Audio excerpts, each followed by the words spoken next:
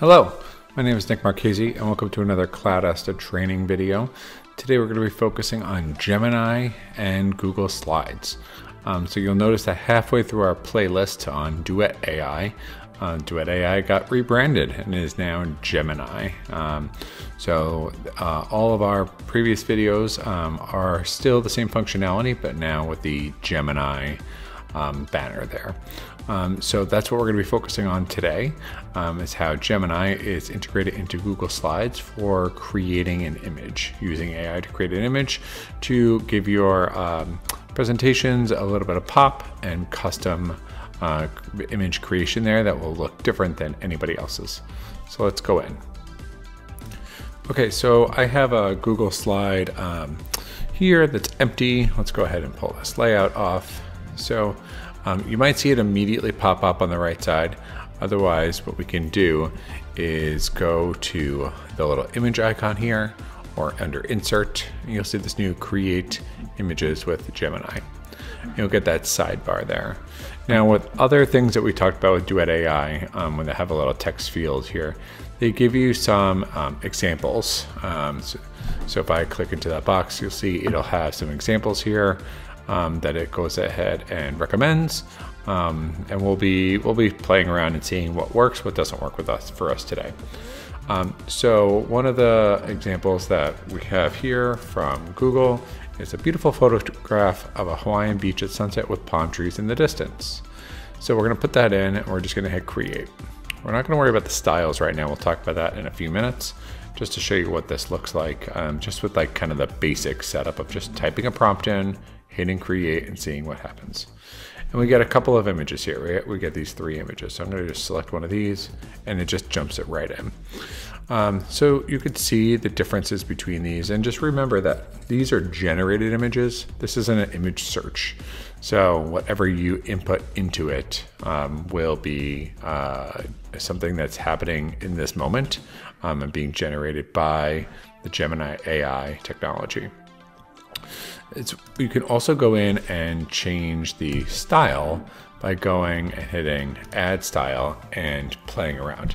Right, so you can see we have photography, background, vector art, sketch, watercolor, cyberpunk, and I'm feeling lucky. Right, so I'm gonna go and do sketch just to mix it up a little bit and hit create. Just to show you a different version of what might be created, but leaving our original no style one, which looks like it's a little bit more of a photograph on here leave that here for us. All right, and now we have sketch, and we see we have a couple different ones. You see they put some sketches within a frame, which is kind of funny, but I'll bring this one in. You can see that sketch looks very much like a sketch tile. Um, and for any searches that you do, you could always hit this view more, and it will generate a couple of more. Um, and that way maybe you'll get a different option that you like a little bit better um, and we can go ahead and pick from one of those. Usually it'll even give you more options than you did originally. Originally it gives you usually four, and now usually it'll give us probably around eight. Um, at any point, you can give feedback to any of the suggestions. This is a great one, or if you give a bad suggestion, say this is a bad suggestion, you can give some feedback as to why it was a bad suggestion. Um, okay, so let's leave those two there. Scroll back up, let's make a, a new slide and let's go and do another one. So let's take a plate of uh, freshly baked blueberry muffins on a wooden table next to a large window. Now let's go back to our no style. And we're gonna go ahead and hit create and see what that comes up with. Again, these are some of the examples that Google is providing, but just type in whatever will work for you in your presentation. And like any of the AI stuff that we've talked about, you're going to have to find the limitations of what works and what doesn't work and what's realistic or not realistic um, for you. And you'll quickly find that out the more you play with it. All right, so we got a couple of different uh, photos here. Um, we got, I'll bring in, let's see, maybe these two. Great, we got these photos of uh, blueberry muffins, a wooden table near a window. Um, so what I want to talk about, it's a way, again, we, we, we could play with the style. So we did sketch. Um, Let's, or no, we did go. Let's do vector art. See what vector art looks like, because that one's a, just a bit, a bit different here. And let's get rid of this one. We'll keep this original. All right. Um, vector art, what do you got for us? We have a couple of different things here. Um, kind of going a little bit. We have this one. It's interesting. Uh, we also have this one that's kind of interesting. So I'm gonna, I'll keep this one. I think that's really fun. Um, but one thing you'll notice if you scroll down here, there's the history of all of the searches that we've done so far and what we've what we did and the style that we selected, which is really great to kind of have that history to go back and pull. And you can even just click a photo from our original search about the beach.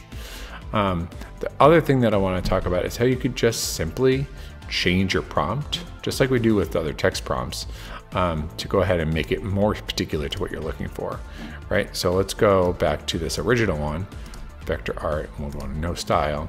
But let's also ask, uh, say, a plate of flesh, freshly baked blueberry muffins on a wooden kitchen table next to a large window with a hungry dog nearby waiting to eat them.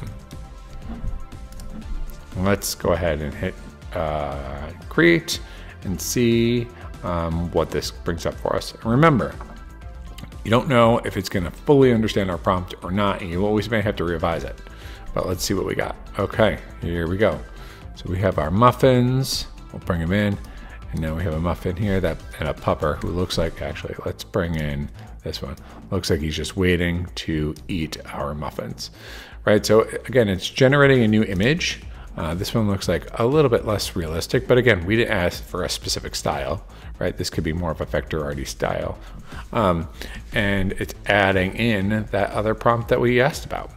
Um, let's take this to a different level and go back to our original beach photo here, right? So we have our uh, original prompt, which was this. Let's add something on this. So a beautiful photograph, a Hawaiian beach at sunset with palm trees in the distance. And um, let's see. Um, a bunch of people playing volleyball as well. Hit create. Let's see what that takes for us. Maybe we'll be able to go ahead and just compare it side by side with our left one. So let's leave that here. We'll take out, or we'll move this guy up here, make it a little bit smaller so that way we can do side by side. Oh, you see it really changed. Um, it says we're still learning and showing limited results. So we have something here. So this is this is really similar to this one that we originally did. Um, a bit different, but um, definitely you could see that we're only down to two options here. Um, so that might be a little bit too tricky uh, of a prompt there. I mean, it did work. We got what we needed, but you can go ahead and kind of tweak this maybe, right? Um, to maybe be maybe be something different with um, uh, with a dog on the beach. Let's see if we could just do something a little bit simpler where they give us a couple of more options. Again, this is where you're going to have to go ahead and experiment and see what works best for you um, for whatever you're trying to generate. All right, here we go. So this looks like a bit of a simpler ask. And now we have a basically, if we compare to the original, we have a similar thing. And now we have a dog on the beach, right? So again, find ways to tweak this. Again, it's not searching for these photos, it's generating these photos. So keep that in mind as you go. All right, have fun with Gemini and slides. If you have any questions, uh, please feel free to reach out to us. Thanks so much.